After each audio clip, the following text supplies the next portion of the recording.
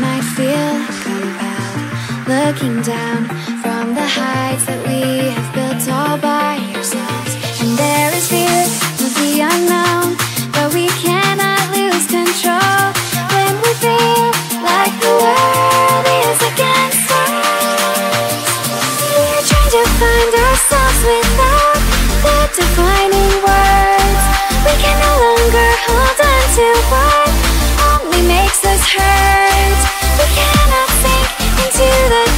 never let it go.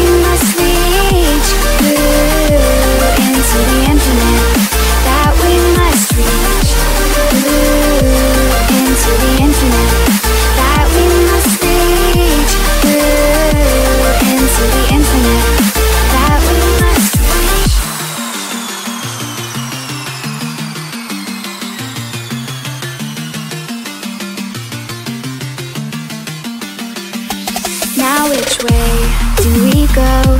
Is the question